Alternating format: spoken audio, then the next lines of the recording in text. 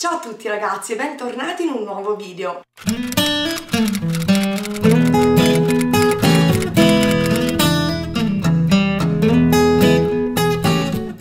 Oggi voglio condividere con voi una riflessione che ho fatto negli ultimi tempi eh, riguardo ai social.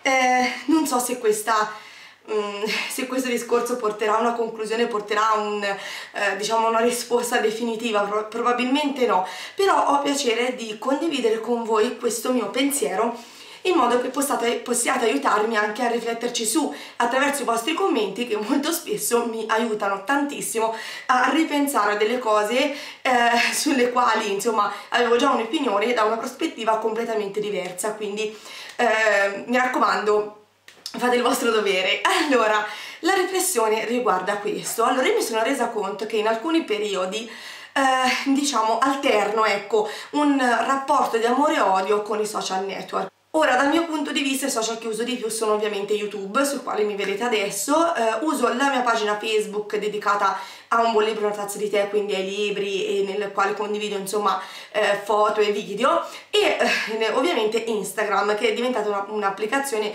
un, social che eh, uso moltissimo, nel, nel, nel, nel quale entro molto spesso appunto alterno dei comportamenti di amore e odio nel senso che eh, passo dei periodi in cui sono motivatissima nel cercare di portare nuovi contenuti sul canale o sui vari social eh, quindi faccio video, faccio storie cerco di essere più presente e più costante nella mia proposta di eh, argomenti per l'appunto e ehm, anzi a volte mi dispiaccio se il canale o Instagram eh, crescono così lentamente proprio perché mi sembra di metterci anche il giusto impegno. Eh, però allo stesso tempo ci sono dei periodi in cui mi allontano drasticamente perché mi sembra tutto molto futile.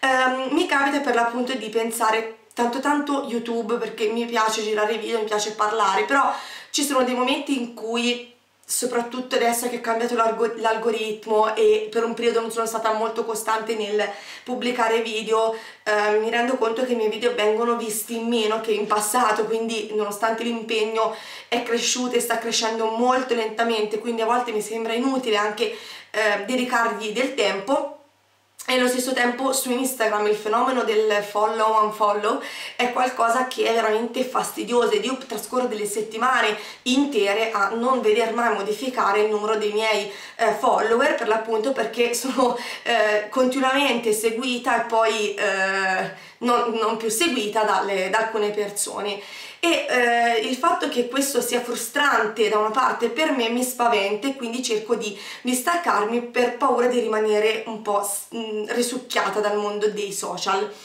Eh, dico questo perché mi capita ovviamente di seguire persone che ci tengono molto, moltissimo ai numeri che raggiungono sui social, quindi alle visualizzazioni, agli utenti e così via, mm, persone che stressano i loro follower quando hanno pubblicato un video dicendo l'avete visto? Lo riuscite a vedere? Perché non riuscite a vederlo? Mio Dio! Eh, cose così, oppure eh, avete visto questa foto? Quanti di voi la vedono? Mettete mi piace se, eh, se l'avete vista così mi accorgo quanti di voi la vedono penso che se dovessi vivere così probabilmente mi sparerei perché proprio non ce la potrei fare. Eh, è anche vero che questo è un nuovo lavoro tra virgolette quindi eh, l'aspirazione dei comuni mortali di noi persone comuni di diventare famosi condividendo soltanto la propria vita. Quindi ci sono persone che sono diventate famose perché condividevano trucchetti per acconciarsi i capelli, eh, trucchi che compravano, vestiti che compravano e, e, e quasi nient'altro, ecco, e, e esperienze di vita. Quindi mi sono resa conto che questo è diventato un po' il sogno comune, no? L'essere riconosciuti per strada, l'essere fotografati, l'essere imitati, eh, l'essere, eh, eh, non so, al centro dell'attenzione di persone che non ci hanno mai visto e per cosa? Perché noi ci mettiamo eh, davanti a uno schermo e facciamo vedere la nostra esistenza, la nostra quotidianità. Questo ovviamente è quello che mi spaventa in dei momenti, quindi dei momenti in cui condivido tranquillamente le cose che mi succedono, ma allo stesso tempo passo dei momenti in cui mi spavento di quello che vorrei condividere, per due motivi principalmente. Il primo è che mi faccio alcune domande, come per esempio, amo essere al centro dell'attenzione? Perché ho bisogno che le persone vedano quello che io faccio? Um, voglio suscitare invidia negli altri E voi pensate che siano domande magari stupide, ma dobbiamo farcele perché a volte è qualcosa che non controlliamo o comunque che non ci rendiamo nemmeno conto, ecco, di fare. E l'altra cosa che mi preoccupa è il fatto di dire riesco a dare valore a qualcosa se non lo condivido?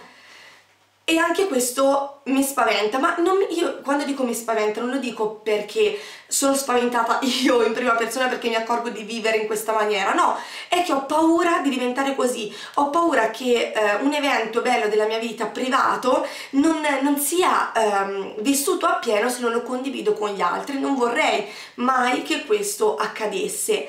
Eh, questo perché? Perché voglio essere capace di apprezzare la mia quotidianità senza doverla per forza mostrare agli altri e farmi dire brava, come sei fortunata o wow quanto ti invidio. Ecco, sono cose di cui io non ho bisogno e non voglio aver bisogno in futuro.